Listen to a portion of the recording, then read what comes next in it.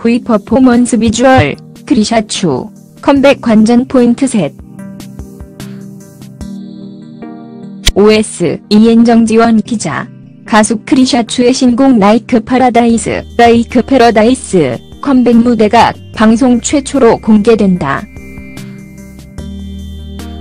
크리샤 츄는 6일 방송되는 MBC쇼 음악 중심에 출연, 타이틀곡 Like Paradise, Like Paradise 무대를 방송 최초로 공개하며 본격적인 활동에 돌입한다. Like Paradise는 소프트 등 장르로 세련된 사운드와 크리샤 츄의 매력적인 목소리가 돋보이는 곡으로 자신의 마음을 표현하지 못하는 소녀의 아련한 마음이 담긴 가사가 인상적이다. 크리샤 츄의 첫 컴백 무대에 앞서 Like Paradise 무대에서 주목해야 할 관전 포인트 세 가지를 짚어봤다.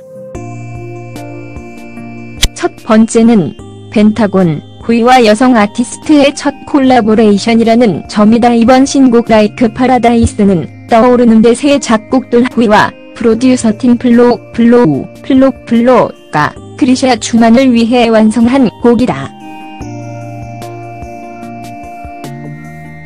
내 프로듀스 100한 시즌2의 경연곡 NEVER, 워너원의 Energetic을 만든 히트 작곡가 후이가 처음으로 여성 아티스트와 협업한 곡으로 최고의 시너지를 만들어냈다.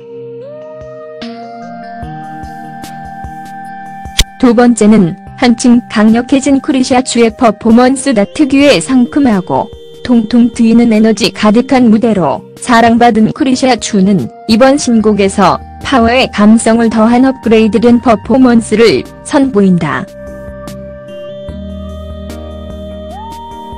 커져가는 사랑의 마음을 표현하지 못하는 소녀의 마음을 담은 나련한 가사와 한층 파워풀해진 퍼포먼스의 조화도 관전 포인트 중 하나다. 세 번째는 다이어트로 한층 업그레이드된 크리샤추의 비주얼.